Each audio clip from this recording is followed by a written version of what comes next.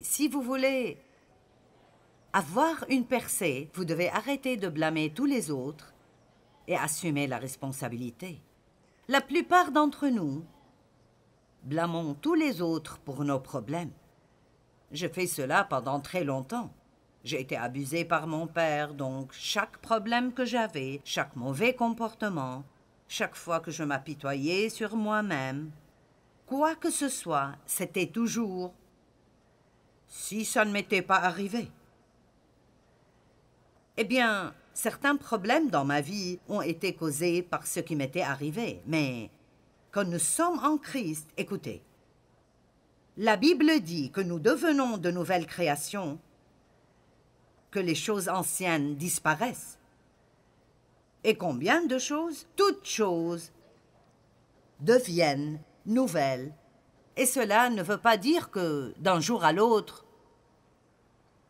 tout change complètement. Ça ne veut pas dire que si vous êtes obèse, le matin vous vous réveillez mince. Ou que si vous êtes chauve, le matin suivant, vous vous réveillez et vous avez une chevelure glorieuse. Être une nouvelle créature veut dire que nous devenons une nouvelle argile spirituelle. Ça veut dire que Dieu nous met dans une position où, bien que nous devions dépasser certaines choses, et il y aura beaucoup de choses que nous devrons apprendre, et l'une de ces choses est d'entendre la voix de Dieu et lui obéir. Mais à ce point, quand vous êtes né de nouveau et vous recevez Christ, toute chose que Dieu a promis à ses enfants devient quelque chose qui est possible pour vous. Si n'importe qui peut avoir tout ce que Dieu offre, alors cette personne peut et devrait être vous. Amen. Vous dites, mais ce n'est pas ma faute. Eh bien, ce qui vous est arrivé dans la vie n'est peut-être pas de votre faute. Peut-être qu'on vous a fait beaucoup de mal. Peut-être que quelqu'un vous a volé. Peut-être que quelqu'un a abusé de vous. Mais vous ne devez pas en faire une excuse pour rester ainsi. C'est ce qui me fait le plus peur, c'est quand nous sommes blessés, et puis nous continuons notre vie en portant cela, et ça devient une excuse pour ne jamais nous améliorer. Combien d'entre vous savent que notre nature humaine aime blâmer?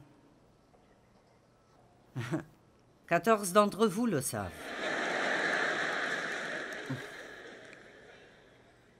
Vous avez déjà vu un mari et sa femme quitter la maison en retard pour aller quelque part? La femme dit que c'est sa faute, il dit que c'est sa faute. Nous ne sommes juste pas bons quand il faut dire c'était entièrement de ma faute, je suis vraiment désolé. Nous avons parlé un peu de cela ce matin, mais je vais en parler de nouveau. C'était totalement de ma faute. Et je suis vraiment désolée. Je me demande pourquoi ceci nous fait tellement mal.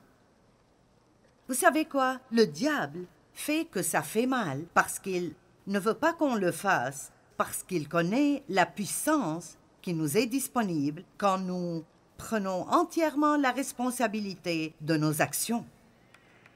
Amen. Quand vous rentrerez chez vous, prenez le temps d'avoir une réunion avec vous-même pour euh, éclaircir la vérité.